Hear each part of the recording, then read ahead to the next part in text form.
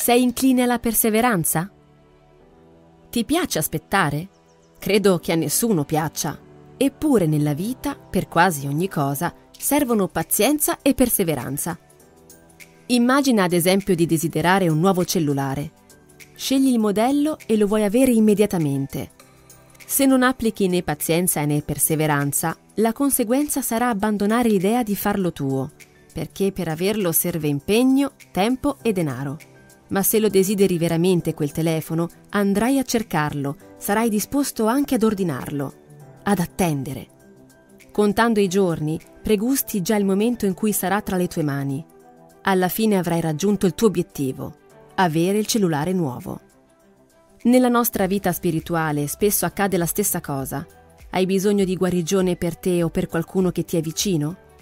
Necessiti di un lavoro, di soldi per pagare una bolletta o del cambiamento di una situazione? Quando chiedi qualcosa in preghiera, può darsi che la risposta del Signore arrivi immediatamente. Quando ciò accade è un grande incoraggiamento, ma può anche accadere che per molto tempo non riceviamo da Dio nessuna risposta. E tu come reagisci in questi casi? Come reagiresti se dovessi attendere, come fece la profetessa Anna per più di 50 anni? Trovi la sua storia in Luca 2:36-38. Lei divenne vedova molto giovane e decise di concentrare i suoi pensieri sul Signore.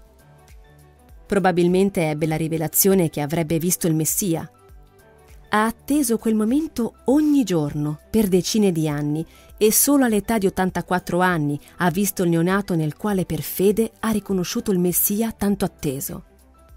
Anche tu, se stai attendendo di vedere esaudite le tue preghiere, non scoraggiarti, ma persevera.